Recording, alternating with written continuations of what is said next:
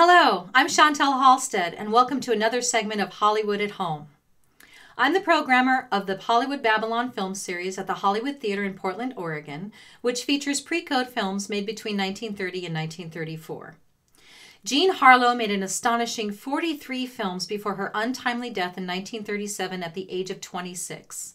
Some of her most notable films are Red Headed Woman, Red Dust, and Dinner at Eight, all showcasing her exceptional talent as a comedian. But the one film of hers I love to recommend to people the most is the pre code classic Bombshell. Loosely based on the life of It Girl, Clara Bow, Jean Harlow stars as Lola Burns, the If Girl, who, beset by demands from her idle parasitic family, her thieving secretary, and a studio that won't take her seriously, runs away from Hollywood to a desert ranch.